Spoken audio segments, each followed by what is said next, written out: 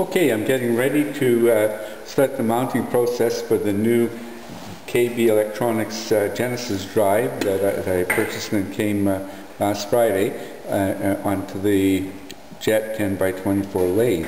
Um, what I've done is I've gone to a friend's place.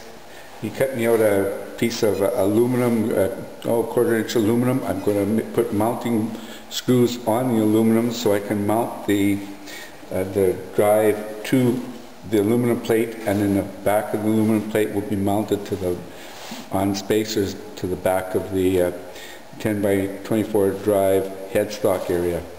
So I'm going to just uh, spray some glue on the pattern. This is the pattern that came with the drive and I'll put a little bit of spray glue on it and mount it to the mount it to the aluminum plate.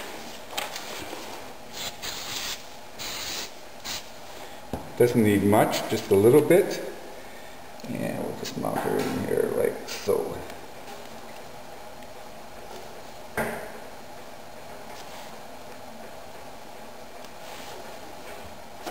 That's, uh, that spray adhesive is really good because it gives you the opportunity to just pull it off and reposition if you're not happy with the position of it. And the plate, of course, is a little bit larger than the template because the cover over the the drive I, has uh, takes up some room. So that looks like a good spot there. I'll just put in the drill holes for the, the tap.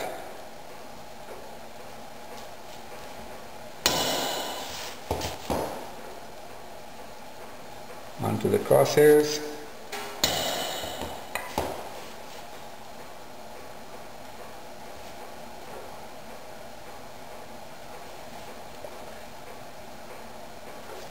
That's the wood stove creaking in the background.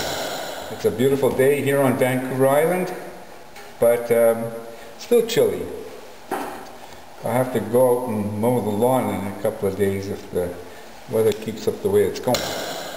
There, got holes, so I'm going to head out to the drill press and I'll drill the holes in the drill press. Okay, I'm getting ready to mount the vacuum plate onto the lathe.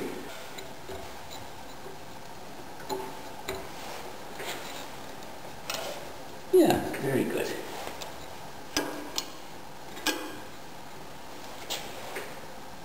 Yes.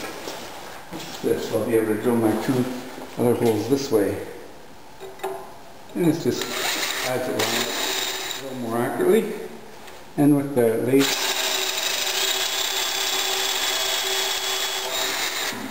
with the lathe being mounted on uh, uh, casters right now, it tends to want to slide. So that takes care of that one. And I can go in here.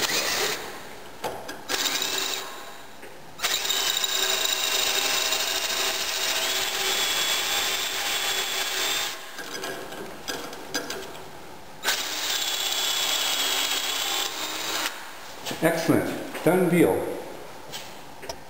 I'll just uh, enlarge these holes on the mounting plate, put a, a, a countersink on there, and uh, then we'll come and check the mounting. And I'll have to tap the lathe as well. plate is going to sit like this, and will be bolted on with uh, uh, flathead cap screws like so. These these fellows here, socket head, flathead cap screws will be nice and flush for the uh, variable speed drive uh, drive to actually mount on there.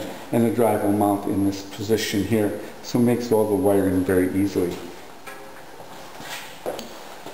Because of the size, the quarter 20 uh, tap is what I'm going to be using here. I'm going to actually use this to, to tap this one. And I have started this tap, so Let's see how it goes. It's going into cast iron, so the tapping is quite nice and I don't need any cutting fluid. Now, I did tap the other holes in the aluminum without cutting fluid. The cutting fluid I probably would have used would have been WD-40 because that's about all it's good for. But, uh, yeah, so this, this cuts quite nicely and I'm not going to keep that going and I'll just tap it like so. And this is probably boring as can be watching somebody tap three holes in a back of the lathe, but you get the picture. That tapped in there quite nicely actually. Done deal.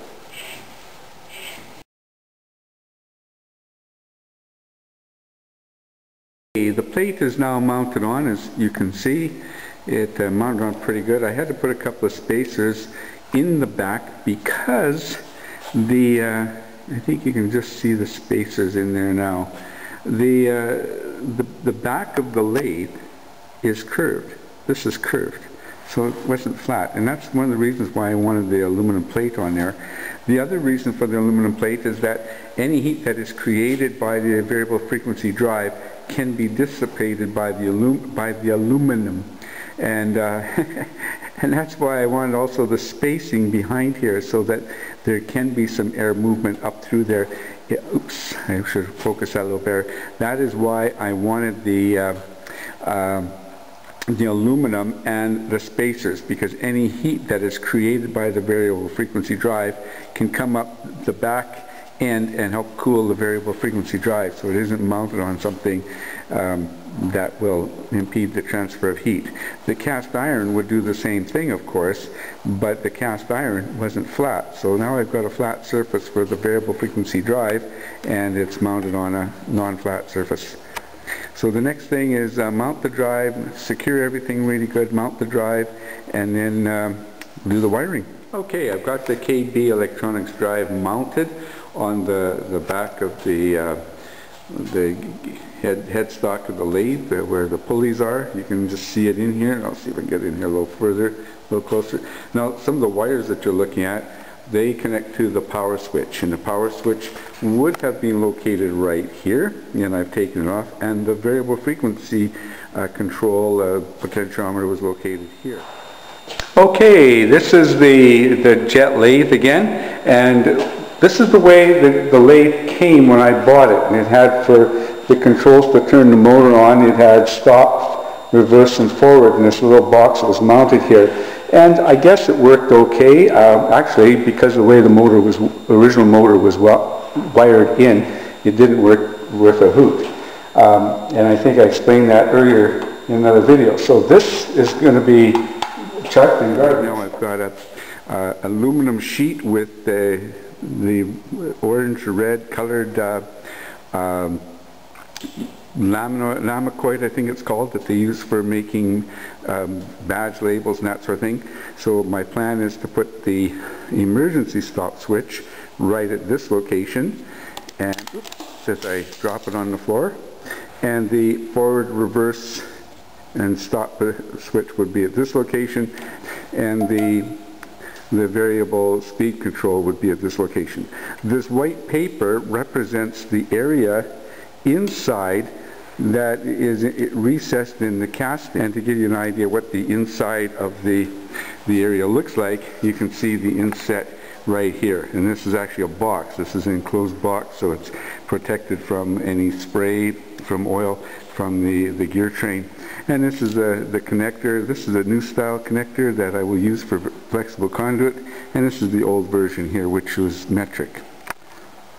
And so I'm going to proceed to drill the holes double check where I want, want everything mounted. I'll drill the holes and uh, we'll see where we go from there.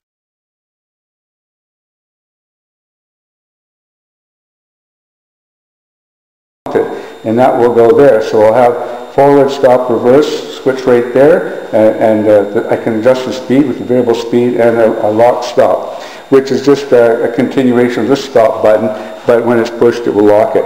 And, but in order to turn the power on and off to the variable frequency drive, I, I mounted a box in here, just a, a little uh, uh, plastic utility box for electronics, and I'm going to have this main switch off on mounted, this uh, label mounted right here, and the switch will be mounted like so. And I've done it opposite what normally would be, because usually you always turn up for on and down for off. But what I want to do here is I want to mount it so that if I wanted to put off um, for an emergency or because I just wanted to power off really quick, I could just go in and hit the switch and push it in. And it was not very likely something's going to come in behind it to turn the power on. So anyway, that's all for this short segment of the video. And uh, I'll, when I get the wiring done, I'll do another video to show how it's all wired in. Okay, I've got the control panel that is replacing the switches uh, completed and wired. I put a Molex connector in here so that I can, I can uh, disconnect the, uh, the, the switches and the potentiometer that controls the speed. And this is what the front looks like. And what I'm going to do is I'm going to mount it here off camera because you guys don't want to see, waste time watching me just mount something. And it is going to be a little tricky to mount, uh, I have to say. Um, and then uh, after it's mounted, I'll, I'll take a picture of the completed installation. The next thing I will be getting onto is going to be the wiring all of these switches, etc., into the uh, variable frequency drive.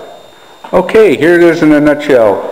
This is the controller that was located in here as per the video I did just shortly, and with the forward off reverse switch. This is the new electronic uh, uh, variable frequency drive control, and, and the, variable, the variable frequency drive is mounted at the back of the headstock. So I've got reverse, stop, forward, I got my speed control, I've got a, a lock stop, so when I push that in, it is locked, and so these switches won't work. I have to flip that over and it's back and again. And this is the on-off switch as well. So that's done. All I have to do now is wire into the controller and uh, give her a smoke test.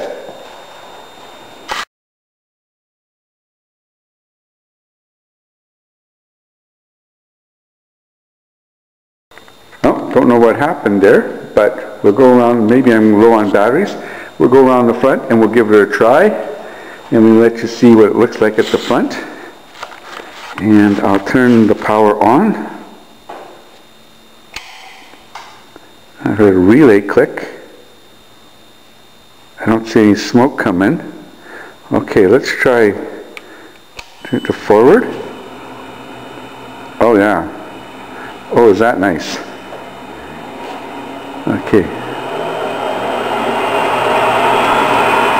Oh yeah, there's a squeal to the, the thing, but I think that might be the driver for the, uh, let's just adjust the film here. Yeah, oh, that is very slick. Yes. Yes, that is nice, and the direction is right. Very nice. I'm happy with that. Okay, goes down quite low. I followed the manual and I adjusted a trim pot uh, to, so it wouldn't go to zero, but I don't know if I adjusted it right. I'll have to try and we'll try stop, reverse, and the same thing in reverse. Oh, very nice. Yeah, that is just so slick. That is just so slick and that looks pretty good. I like the look of that too. And let's check and see if there's any smoke coming out the back. No? Everything looks okay there. It's got a squeal to it, but that's about it.